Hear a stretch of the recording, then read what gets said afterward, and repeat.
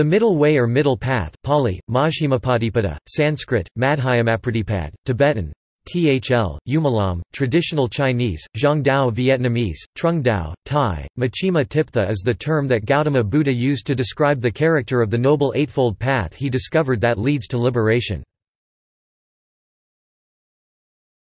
Theravada Buddhism and the Pali Canon Dhammacakkappavattana Sutta In the Pali Canon of Theravada Buddhism, the term, middle way, was used in the Dhammacakkappavattana Sutta, which the Buddhist tradition regards to be the first teaching that the Buddha delivered after his awakening. In this sutta, the Buddha describes the Noble Eightfold Path as the middle way of moderation, between the extremes of sensual indulgence and self-mortification, Monks, these two extremes ought not to be practiced by one who has gone forth from the household life. There is addiction to indulgence of sense pleasures, which is low, coarse, the way of ordinary people, unworthy, and unprofitable, and there is addiction to self-mortification, which is painful, unworthy, and unprofitable. Avoiding both these extremes, the Tathagata the perfect one has realized the middle path, it gives vision, gives knowledge, and leads to calm, to insight, to enlightenment and to nibbana. And what is that middle path realized by the Tathagata? It is the Noble Eightfold Path, and nothing else, namely, right understanding, right thought, right speech, right action, right livelihood, right effort, right mindfulness and right concentration. According to the scriptural account, when the Buddha delivered the Dhammacakkappavattana Sutta, he was addressing five ascetics with whom he had previously practiced severe austerities. Thus, it is this personal context as well as the broader context of Indian Shramanic practices that gives particular relevancy to the caveat against the extreme Pali, anta of self-mortification Later Pali literature has also used the phrase middle way to refer to the Buddha's teaching of dependent origination as a view between the extremes of eternalism and annihilationism. Dependent origination Praticcasamutpada, or dependent origination, describes the existence of objects and phenomena as the result of causes. When one of these causes changes or disappears, the resulting object or phenomena will also change or disappear, as will the objects or phenomena depending on the changing object or phenomena. Thus, there is nothing with an eternal self or Atman, only mutually dependent origination and existence. However, the absence of an eternal Atman does not mean there is nothing at all. Early Buddhism adheres to a realistic approach which does not deny existence as such, but denies the existence of eternal and independent substances. This view is the middle way between eternalism and annihilationism. The understanding that sees a person as subsisting in the causal connectedness of dependent arising is often presented in Buddhist thought as the middle madhyama, majjhima between the views of eternalism sasvada, sasada vada and Annihilationism. Uccheda Vada. Topic: Anatta. Dependent origination views human persons too as devoid of a personal essence or atman. In Theravadan literature, this usage of the term middle way can be found in 5th century CE Pali commentaries. The Tathagata teaches the Dhamma by the middle without veering to either of these extremes, eternalism or annihilationism, having abandoned them without reservation. He teaches while being established in the middle way. What is that Dhamma? By the formula of dependent origination, the effect is shown to occur through the cause and to cease with the cessation of the cause, but no agent or experiencer is described. In the Visuddhimagga, the following is found. Dependent origination Paticca Samuppada represents the middle way, which rejects the doctrines, he who acts as he who reaps and one acts while another reaps s. e.20. In the Pali Canon itself, this view is not explicitly called the middle way, but is literally referred to as teaching by the middle. Majjhima Dhamma. Rebirth Paticcasamuppada Dependent origination also gives a rationale for rebirth. Conditioned arising is a middle way which avoids the extremes of eternalism and annihilationism, the survival of an eternal self, or the total annihilation of a person at death. In Theravadan soteriology, the principle of anatta, Anat-Buddhist philosophy refers to the philosophical investigations and systems of inquiry that developed among various Buddhist schools in India following the death of the Buddha and later spread throughout Asia.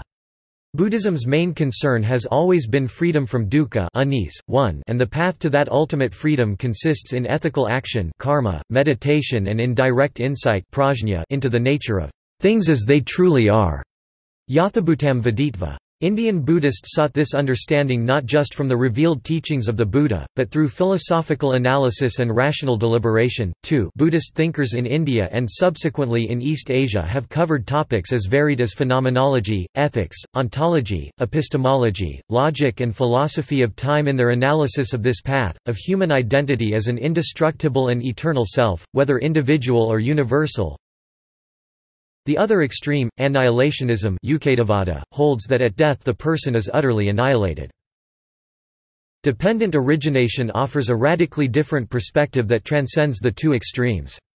It shows that individual existence is constituted by a current of conditioned phenomena devoid of a metaphysical self yet continuing on from birth to birth as long as the causes that sustain it remain effective. Paticcasamuppada also describes the twelve nidanas of dukkha suffering", that lead to rebirth, from avijja ignorance, to jaramarana aging and death, and the parallel reverse order interdependent cessation of these factors. In Theravada Buddhism, only nibbana is unconditioned, nonetheless, even the arahant or tathagata, upon passing, neither exists nor non-exists according to the Pali Canon. Mahayana In Mahayana Buddhism, the middle way refers to the insight into sunyata emptiness, that transcends the extremes of existence and non-existence, the two truths doctrine.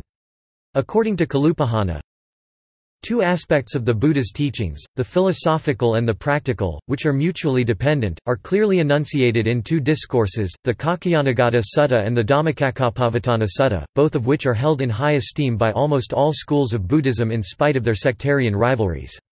The Kaccayanagotta Sutta, quoted by almost all the major schools of Buddhism, deals with the philosophical middle path placed against the backdrop of two absolutistic theories in Indian philosophy, namely, permanent existence propounded in the early Upanishads and nihilistic non-existence suggested by the materialists. Madhyamaka In Mahayana Buddhism, the Madhyamaka middle way school portrays a middle way position between metaphysical claims that things ultimately either exist or do not exist.